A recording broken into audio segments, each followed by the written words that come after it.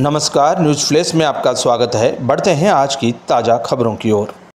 खबर हनुमानगढ़ से है, जहाँ जिला कलेक्टर कानाराम ने कहा कि ज़िले में हरियालो राजस्थान अभियान के तहत 7 अगस्त को हरियाली तीज के शुभ अवसर पर ज़िले में पाँच लाख से अधिक पौधे लगाए जाएँगे। उन्होंने इस अभियान को सफल बनाने के लिए पूर्व में ही आवश्यक तैयारियों को सुनिश्चित करने के निर्देश देते हुए कहा कि समय रहते पौधों के लिए गड्ढे खोदे जाएँ। कलेक्टर ने कहा कि आज तक लगाए गए पाँच लाख पंद्रह हज़ार पौधों का मोबाइल एप्लीकेशन से जियो टैग करें। अतिरिक्त मुख्य सचिव ने मुख्यमंत्री भजनलाल शर्मा की इस महत्वाकांक्षी पहल को सफल बनाने के लिए जिला कलेक्टरों को वीडियो कॉन्फ्रेंसिंग के माध्यम से निर्देश दिए। जिला कलेक्टर ने कहा कि मुख्यमंत्री वृक्षारोपण महाअभियान में हमारा लक्ष्य न केवल अधिक से अधिक पौधे लगाना, बल्कि ये भी सुनिश्चित करना है कि वे पौधे जीवित रहें और फल फूल सकें। कलेक्टर ने निर्देश दिए कि अपने अपने विभागों की जिम्मेदारियों की सफलतापूर्वक उन्हें लागू करें और इसकी निगरानी करें।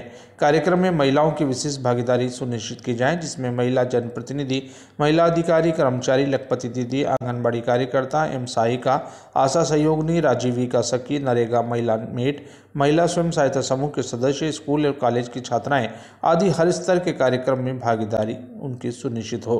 कलेक्टर ने कहा कि इस महत्वपूर्ण अभियान में महिलाओं को जोड़ा जाए, साथ ही जिला ब्लॉक, ग्राम पंचायत स्तर पर जनप्रतिनिधियों को आमंत्रित करते हुए प्रत्येक गाँव में वृक्षारोपण किया जाए। उन्होंने कहा कि राजीविका की महिलाएँ इस कार्य में बढ़ चढ़कर भाग लें। यह सुनिश्चित किया जाए कि जिला कलेक्टर ने सभी नागरिकों से अपील की कि वे इस अभियान में बढ़ चढ़कर भाग लें और प्रदेश को हरा भरा बनाने में योगदान दें।